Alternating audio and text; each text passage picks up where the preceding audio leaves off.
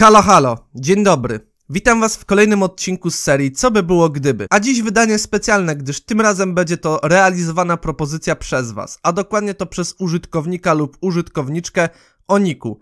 Nie mam pomysłu na nowy nick. A dzisiejszy temat to down w pierwszym sezonie, tak więc bez zbędnego przedłużania zaczynajmy.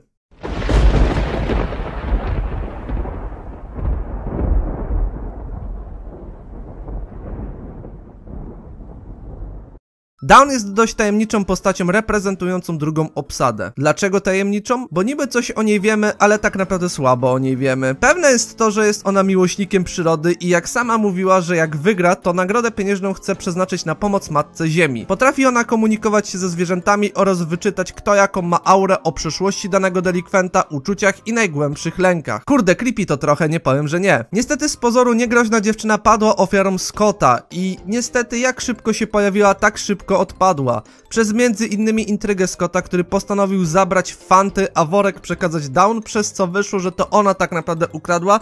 Mimo, że nie jest to zgodne z prawdą, no ale Scott jest tak dobrym manipulatorem, że wykaszał każdego po kolei jak tylko się dało. Z takiej jednej ciekawostki to mogę powiedzieć, iż Down reprezentowała drużynę toksyczne szczury. No dobra, to teraz tak. Jeśli Down faktycznie by trafiła do pierwszej obsady, to jestem niemalże pewien na 90%, że trafiłaby ona do drużyny Susów. Czemu nie do Okoni?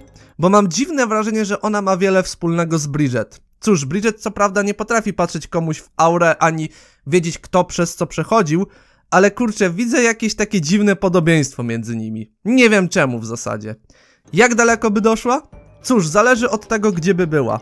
Jeśli w susach, to bardzo szybko by odpadła, bo prawdopodobnie header by wyszła na miejsce Scotta i robiłaby wszystko, by jak szybko się pojawiła, tak szybko by odpadła. O koniach z kolei chyba dałaby radę maksymalnie do odcinka, gdzie odpadła Katie, najdalej gdzie odpadł Tyler. Czy intryga header by zadziałała? Tak jak już wspominałem, zależy od tego, czy trafiłaby do susów, czy do okoni. Wszystko zależy, aczkolwiek myślę, że tak. Myślę, że header zrobiłaby coś, przez co Dawn by szybko pożegnała się z wyspą, jak już wspominałem. A wy, co sądzicie o Dawn w pierwszym sezonie? Piszcie na dole wasze przemyślenia.